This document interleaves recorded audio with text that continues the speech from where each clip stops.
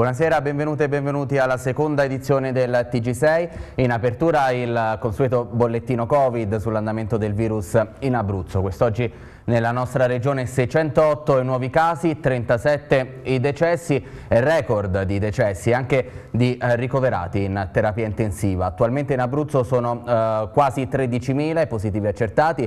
Il professor Vecchiette del Santissima Annunziata di Chieti chiede maggiori restrizioni in servizio. 608 nuovi casi di Covid oggi in Abruzzo, il più piccolo tra i contagiati ha 4 mesi, il più anziano 97 anni. 11.756 è il numero dei test analizzati tra antigenici e molecolari per un tasso di positività complessivo del 5,1%. L'area più colpita è il Pescarese con 274 nuovi casi, seguono il Chietino con 147 casi, l'Aquilano 113 casi e il Teramano con 99 casi. 13 dei contagiati invece provengono da fuori regione. Servono misure più restrittive, ha dichiarato il direttore della clinica di malattie infettive di Chieti, Jacopo Vecchiet. Noi è già da qualche giorno che abbiamo la sensazione che i numeri non eh, scendano, inasprire in qualche modo le norme e le misure di, circ di, di, circolazione delle persone in questo momento potrebbe avere una doppia valenza perché ci darebbe un vantaggio sulle vaccinazioni e probabilmente ci metterebbe in condizioni di affrontare i mesi estivi con una percentuale di, di virus nel territorio ancora più bassa. 37 7 il numero di decessi registrato oggi, di cui 12 sono avvenuti nei giorni scorsi, 906 sono invece guariti. Attualmente in Abruzzo vi sono 12.898 positivi accertati, 335 in meno rispetto a ieri. Di questi 661 pazienti, meno 8 rispetto a ieri, sono ricoverati in area medica. 4 in più, con 9 nuovi ingressi, sono ricoverati in terapia intensiva, dove è occupato il numero record di 91 posti letto. Con la situazione attuale meglio non riaprire le scuole, ha detto il professor Vecchiet, commentando l'ipotesi di vaccinare insieme al personale scolastico anche gli studenti. I ragazzi si contagiano di più, ma per fortuna non si ammalano. Abbiamo imparato che contagiarsi per fortuna non significa sempre ammalarsi. In questo momento la sua riflessione che io condivido, cioè dovremmo vaccinare anche i ragazzi, non è così facilmente attuabile perché è innegabile che noi dobbiamo dare una gerarchia di necessità. Quindi i ragazzi che nella percentuale maggiore si contagiano ma non si ammalano sono in qualche modo, mh, dovrebbero essere protetti dopo aver protetto le categorie che sono più a rischio, quindi le persone anziane, le persone, eh, gli over 50, il personale della scuola. Questa logica diventa tanto più vincente quanto più noi però teniamo le scuole chiuse, a mio parere. Continuiamo a parlare di scuole perché eh, la diffusione del Covid a Chieti, soprattutto a causa della variante inglese, è più allarmante che in altre zone d'Abruzzo, lo ha detto il sindaco Ferrara, e proprio per questo motivo nel capoluogo tetino le scuole rimarranno chiuse fino al 3 aprile. Eh, siamo ad un a Chieti sempre, siamo ad un livello eh, di allarme o di pericolosità superiore ai limiti consentiti. L'indice di prevalenza a Chieti è elevato, eh, l'indice di pericolosità è elevato, eh, eh, i contagi si stanno avendo particolarmente eh, nell'età scolare, pertanto a fronte di tutto questo la mia decisione di tenere tenere, continuare a tenere eh, chiuse, eh, chiusi gli asili nido, gli asili d'infanzia e le scuole di pertinenza eh, comunale, quindi le elementari e le medie, fino al 3 aprile, in ossequio all'articolo 43 dell'ultimo DPCM governativo. Nel primo pomeriggio di oggi all'ospedale Mazzini di Teramo è stato inaugurato il nuovo reparto Covid con 21 posti letto in terapia subintensiva. Alla cerimonia è intervenuto il governatore Marco Marsilio che ha spiegato anche le nuove misure di contenimento e ha parlato della fornitura dei vaccini all'Abruzzo. Tania Bonici Castelli.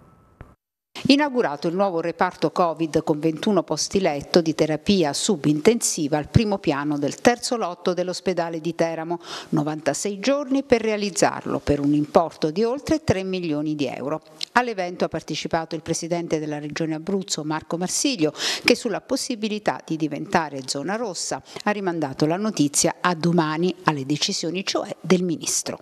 Il governo ci farà sapere quali sono le nuove regole, insomma, se, se modificherà il DPCM, quello che è entrato in vigore solo pochi giorni fa, noi dovremo poi prendere le nostre decisioni anche sulla base di quelle che possono essere nuove regole, eventuali automatismi, quindi prima di domani pomeriggio sera sarà impossibile capire di preciso quale sarà la condizione di lunedì. Marsilio ha anche espresso la propria opinione sulla vicenda giudiziaria che ha investito i vertici dell'ASL di Pescara e ha fatto un punto sulla fornitura dei vaccini all'Abruzzo. Io non mi pronuncio sulle inchieste, i magistrati facciano il loro mestiere, eh, posso solo confermare fiducia e apprezzamento per il lavoro svolto da Ciamponi e Caponetti che hanno eh, ben operato. Si sta chiudendo tutta l'Italia a causa della variante inglese. Quello che poteva sembrare qualche settimana fa una cosa strana perché si vedeva eh, solo magari a Perugia, a Pescara, magari con un po' di provincialismo si vede soltanto il cortile di casa propria, la variante inglese ha colpito il mondo intero, la Gran Bretagna è stata messa in ginocchio, ha dovuto fare due mesi di lockdown durissimo per uscirne fuori è evidente che dove colpisce, colpisce con quella intensità e con quelle conseguenze. I vaccini arriveranno in sufficienza in Abruzzo? Più vaccini ci danno e più vaccini somministreremo, siamo in grado di farne molti di più di quanti non se ne facciano oggi, dipende appunto dalle eh, somministrazioni, da, da, da, dalla fornitura che, che, arriva. Come è noto è arrivata a meno del 50% della fornitura prevista nel primo trimestre, quindi abbiamo potuto vaccinare la metà delle persone che si prevedeva di vaccinare entro il primo trimestre. Se non, avesse, se non ci fosse stato questo problema noi oggi, ben prima della Pasqua, avremmo messo in sicurezza tutta la popolazione fragile e questo naturalmente avrebbe anche cambiato i ragionamenti sulla necessità di stringere, chiudere, eh, adottare altre precauzioni o meno. Il consigliere regionale del PD, Antonio Blasioli, ha scritto una lettera al manager dell'ASL di Pescara, Ciamponi, dopo segnalazioni di infiltrazioni di acqua all'interno del reparto di rianimazione del Covid Hospital al Santo Spirito. Blasioli chiede all'ASL di intervenire in maniera urgente. Vediamo. Queste sono le foto. Le vogliamo illustrare. Asciugamani per terra, acqua da tutte le parti, strumentazione bagnata, ora si potrebbe dire è un normale allagamento, normali infiltrazioni che ci sono e sono capitate un po' in tutte le case. Se non fosse che qui, ed è un fatto reiterato, siamo al settimo livello del Covid Hospital di Pescara e al settimo livello del Covid Hospital di Pescara c'è la rianimazione. E voglio essere chiaro perché alcune cose le ho dette anche al verbale delle commissioni consigliari. Ritengo fondamentale per la città di Pescara avere il Covid Hospital lì. Lo, lo dico in maniera chiara, per noi è stata una salvezza, è stata una manna dal cielo. Però c'è qualcosa che non va quali infezioni batteriche possono derivare da queste infiltrazioni? Quali danni si potrebbero creare per esempio nell'intercapedine dove sono i cavi elettrici del monitor, dei respiratori eccetera? Allora, è già successo una volta, non è stata trovata una soluzione, se ci chiamano vuol dire che la, la situazione è ancora così. Queste infiltrazioni, queste foto, sono del 9 di marzo, cioè dell'acqua che è scesa l'altro giorno. Allora la lettera che oggi abbiamo fatto al manager dell'ASL con cui abbiamo cominciato questo video chiede questo, vi siete attivati? È una competenza dell'ASL? È una competenza della ditta che ha fatto i lavori? Glielo avete segnalato? Avete fatto, se è una competenza dell'ASL, una somma urgenza per risolvere questo problema? Da cosa deriva questo problema e quali sono i danni che possono derivare all'interno dell'ospedale? Io credo che in maniera costruttiva vorremmo che questa situazione non si verificasse più. Cambiamo argomento, la Corte di Cassazione ha annullato il sequestro preventivo dei beni a Strada dei Parchi, la società per azioni che gestisce le A24 e A25. I giudici hanno giudicato eh, legittima l'assegnazione dei lavori alla Toto Costruzione. La Corte di Cassazione dà ragione a Strada dei Parchi, la concessionaria delle A24 e A25, e annulla il sequestro preventivo dei beni, 21 milioni e 800 mila euro tra somme aziendali e dei dirigenti che la Procura di Teramo aveva sequestrato per il presunto reato di abuso d'ufficio. Accogliamo con grande soddisfazione la decisione della Cassazione, fanno sapere dal gruppo Toto, titolare di Strada dei Parchi. Il Tribunale del riesame aveva già parzialmente dissequestrato i beni, da qui il ricorso in Cassazione decisione della Procura, ma i giudici della Corte Suprema quest'oggi hanno deciso la restituzione totale di quanto confiscato dal GIP il 27 ottobre scorso. Questo perché la Cassazione ha giudicato legittima l'assegnazione dei lavori alla Toto Costruzioni. Per legge le concessionarie autostradali possono affidare lavori a imprese collegate nella misura massima del 60% del valore della concessione, ma secondo gli investigatori la percentuale era stata ben superata. Rimane ora il procedimento penale riguardo il degrado strutturale delle autostrade e la mancata manutenzione. Il gruppo Toto però ribadisce l'infondatezza della presunta pericolosità delle infrastrutture. Protesta pacifica questa mattina organizzata da CGL e Cisle Will davanti ai cancelli della Sabino Esplodenti di Casalbordino dove il 23 dicembre scorso un'esplosione è costata la vita a tre operai. I dipendenti ormai in cassa integrazione chiedono alla magistratura eh, di fare presso nell'accertamento delle eventuali responsabilità per poter tornare a lavorare prima che l'azienda chiuda definitivamente. Alfredo Primante. Chiedono di tornare a lavorare i dipendenti della Sabino Esplodenti di Casalbordino, chiusa dal 23 dicembre scorso, giorno in cui un'esplosione è costata la vita a tre operai, Carlo Spinelli, Nicola Colameo e Paolo Pepe. I lavoratori dell'opificio, che si occupa anche di smaltimento di materiale esplosivo, sono in cassa integrazione. L'Inps infatti ha accordato il sussidio per 15 settimane, innalzandolo dalle 11 inizialmente previste e dunque fino al 17 di aprile prossimo prossimo. Una notizia, quella comunicata ieri dalla deputata 5 Stelle Carmela Grippa, che rende solo meno amara la Pasqua di 80 famiglie che chiedono alla magistratura che ha posto sotto sequestro l'area e che sta portando avanti le indagini per appurare eventuali responsabilità per la tragedia di dicembre di poter tornare al lavoro. Ci sono 80 famiglie che eh, devono dare delle risposte alle banche, abbiamo degli affitti, dei mutui e, mm, e quant'altro, figli piccoli, figli all'università università, eh, rette mezzi universitarie, abbiamo tanti impegni e queste famiglie non devono essere lasciate sole. Eh, la nostra azienda ha perso già due grandi commesse, eh, che ne vale il futuro della nostra azienda con eh, paesi eh, extraeuropei. Però se si protrae ancora questo silenzio, questo ritardo del, dello sblocco, del dissequestro della nostra azienda, molto probabilmente da qui a un mese non abbiamo più modo di esistere. Quindi chiediamo a chi, chi deve giudicare, a chi di dovere, di eh, venirci incontro e di pensare che siamo, non siamo famiglie fantasma, siamo tanta famiglie che abbiamo bisogno di questo lavoro.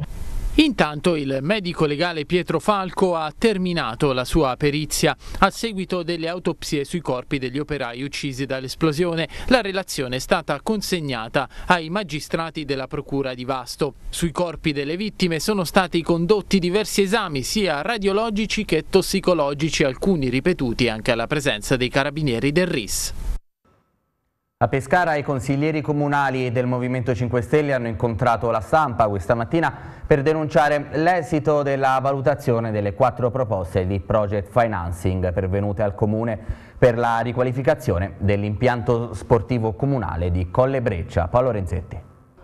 Questa società sostanzialmente non ha alcuna esperienza nella gestione dei, degli impianti sportivi e la seconda è che è stata formalmente eh, creata il 25 gennaio, mentre la scelta, il verbale è del 14 gennaio, quindi 11 giorni prima, quindi sostanzialmente è stato aggiudicato questo, questo lavoro a, ad una SRL che non si era ancora costituita. Partita. Si deve per forza far vedere che noi non vogliamo dare un contributo fattivo e invece la nostra posizione era essenzialmente per tutelare sia il comune e sia i cittadini, perché purtroppo se adesso qualcuna delle altre società dovesse mm, opporre resistenza, eh, significherebbe che questi cambi sportivi purtroppo eh, verranno realizzati con, con tantissimo ritardo. Pensavamo che la storia della Fidia avesse insegnato qualcosa a questo comune, ma evidentemente invece non è così. È una, una gara appunto che appunto in realtà non c'è stata perché per questa, per questa riqualificazione hanno proposto la propria eh, progettualità quattro privati e la scelta tra questi quattro è ricaduta su, su uno dei partecipanti, eh, scelta fatta dalla commissione tecnica del comune di Pescara che però non ha motivato eh, in nessun modo questa scelta, quindi senza indicare alcun tipo di criterio, di diciamo, graduatoria, di punteggio o altro, quindi una scelta del tutto eh, arbitraria che getta molti, molti dubbi e molte perplessità su quella che invece dovrebbe essere una procedura pienamente trasparente secondo quei principi che dovrebbero sempre guidare un'amministrazione pubblica. Il circuito Abrex propone una serie di seminari con le aziende per spiegare la ripartenza, una ripartenza che sia sostenibile. Idee proposte per la tua azienda. Il circuito Abrex propone una serie di incontri per parlare con le aziende, per parlare di idee e di proposte per le aziende della nostra regione. Sì, abbiamo pensato dopo ormai un anno di lockdown e comunque di difficoltà per le aziende di ricominciare, ripartire proponendo una serie di iniziative legate a delle tematiche specifiche che possono essere utili per le aziende per trovare magari nuovi spunti, per poter magari ecco, permettere alle aziende che in questo momento sono un attimino in difficoltà non solo di poter utilizzare il nostro, il nostro circuito ma anche quello di poter apprendere eh, nuove nozioni, nuove informazioni e soprattutto nuove idee per trovare la forza di ricominciare o trovare un nuovo slancio o soprattutto nuove opportunità di business e di incontri con, con altre aziende.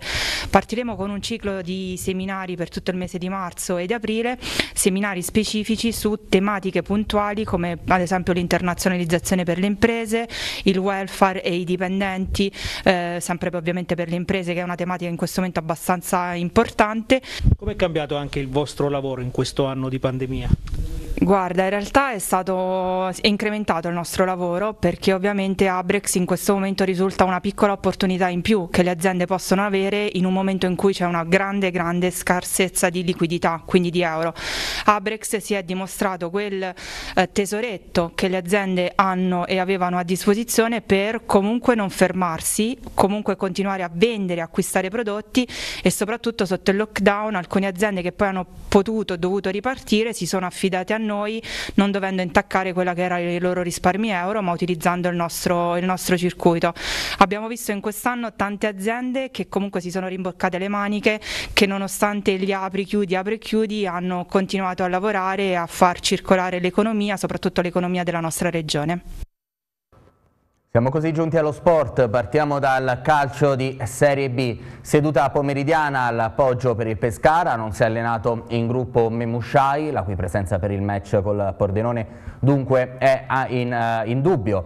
E ancora assenti Bocchetti, Balzano e Tabadelli che quindi salteranno la gara di Lignano. Il tecnico Grassadonia ha continuato a lavorare sulla difesa a 4, tanto che sono in ascesa le possibilità di vedere i biancazzurri con il 4-3-2-1 o il 4 4-3-3. Ad ogni modo se ne saprà di più nella rifinitura di domani. Per la gara di sabato intanto è stato designato Sacchi di Macerata, il servizio di Andrea Costantini. Migliorare l'approccio alle partite è uno degli aspetti su cui Grassadonia sta cercando di incidere, ma per farlo serve acquisire quella identità che il Pescara ha sempre fatto fatica a trovare.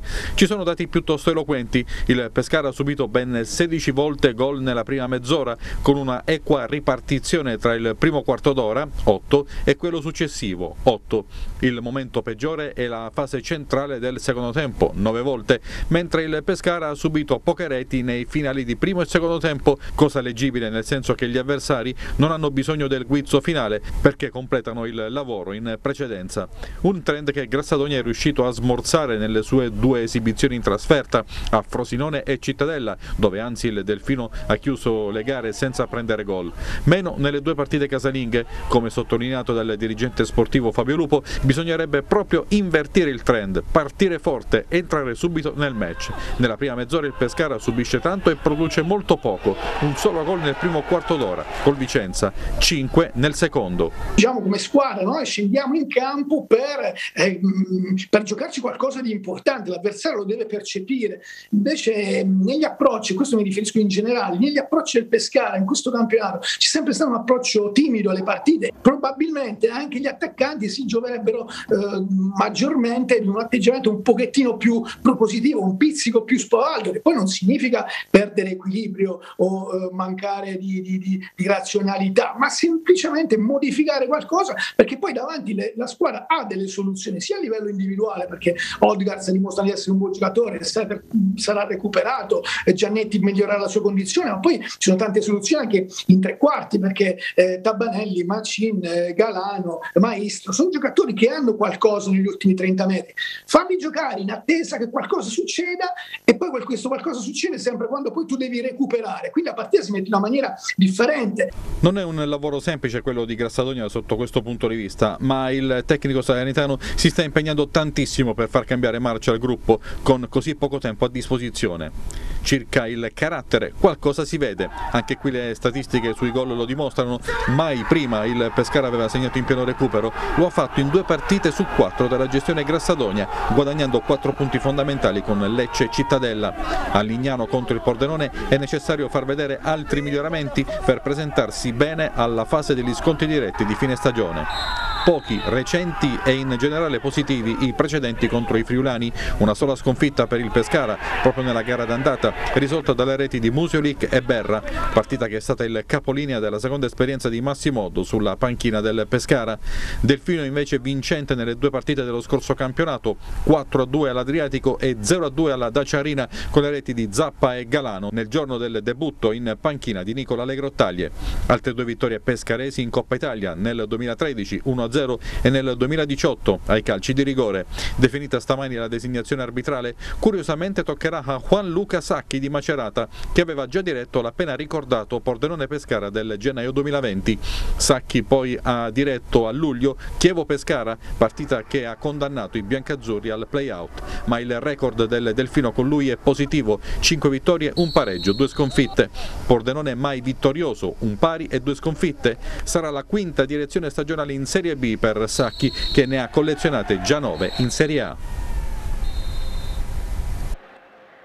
Serie C, oggi a mezzogiorno il Teramo ha sostenuto l'ultima seduta al Bonolis in vista dell'anticipo di sabato a Catania. Domani pomeriggio i biancorossi sosterranno in terra etnea l'allenamento di eh, rifinitura. Intanto il difensore Tentardini plaude la ritrovata solidità difensiva e confida in un buon eh, finale di campionato della squadra. Il servizio stiamo crescendo, siamo una squadra giovane, soprattutto nel reparto difensivo, dove magari si possono commettere errori, però tutti, siamo tutti ragazzi che abbiamo voglia di lavorare, voglia di imparare e quindi i risultati, i risultati arrivano, stanno arrivando e non prendere gol o prendere pochi gol, soprattutto in quest'ultima parte del campionato, può essere sicuramente un valore, un valore aggiunto non bisogna farsi ossessionare troppo da, dalla classifica perché comunque adesso stiamo affrontando squadre di un certo livello, cosa che magari verso la fine della stagione abbiamo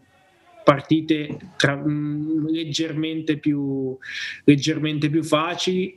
Dobbiamo tenere botta, dobbiamo tenere assolutamente botta in queste, in queste partite, Catania, Ternana, e poi giocarci tutte le nostre carte alla fine e da lì poi si, si guarderà la classifica. Queste gare più facili che tu dici che arriveranno, però nel girone di andata il Teramo le ha sostanzialmente fallite. Cosa dovrà fare di diverso il Teramo adesso, in questo momento, quando arriveranno queste gare? No, dobbiamo fare il Teramo, dobbiamo continuare questo processo che stiamo facendo riguardo appunto a subire poco, a, a subire pochi gol e basta. Secondo me non c'è da stravolgere niente perché mh, mantenendo questo trend di prestazioni nelle ultime due o tre partite sicuramente, cioè, sicuramente ce la faremo a raggiungere i nostri obiettivi. Noi andiamo a Catania per, per provare a fare risultato, cosa che in qualunque partita da inizio campionato ad adesso mh, abbiamo affrontato, noi abbiamo sempre eh, provato oppure abbiamo sempre cercato di fare il risultato nonostante l'avversario perché comunque l'ho sempre sostenuto la nostra rosa è una grande rosa una squadra forte che ce la possiamo giocare con, contro chiunque l'abbiamo anche dimostrato e ora gli aggiornamenti per quanto riguarda il campionato di Serie D è stata rinviata la partita di recupero Agnonese-Pineto prevista per domenica alle 14.30 allo stadio Civitelle. Slitta dunque il ritorno in campo della squadra di Marco Pomante che ha ben otto gare da recuperare. Stamani il comitato interregionale ha fissato per mercoledì prossimo 17 marzo un altro recupero Monte Giorgio Pineto. Se non ci dovessero essere complicazioni dunque in quella data ci sarà il ritorno in campo della compagine pinetese, altrimenti bisognerà attendere la trasferta di Recanati di domenica 21 marzo, quando è in programma la ripresa del campionato con le gare della ventiduesima giornata. Pineto che nel frattempo ha praticamente chiuso eh, per l'acquisto dell'ex attaccante del notaresco Giacomo Romano, che ha giocato nella prima parte della stagione alla Sanremese. Romano dovrà sostituire Fioretti, recentemente operato ad un ginocchio per la rottura del crociato. Altre due notizie dalla Serie D, il Rieti ha esonerato il tecnico Stefano Campolo eh, dopo la sconfitta di ieri col Monte Giorgio, la quarta consecutiva e il Porto Sant'Elpidio ha annunciato il nuovo allenatore, si tratta di Ottavio Palladini, ex trainer di Teramo e Vastese. E con questo termina questa edizione del TG6, vi ricordo l'appuntamento di questa sera alle ore 21 con Velò, la trasmissione di Jacopo Forcella e Luciano Rabottini dedicata al ciclismo. Il TG6 tornerà alle 23 con l'edizione della notte. Grazie, una buona serata.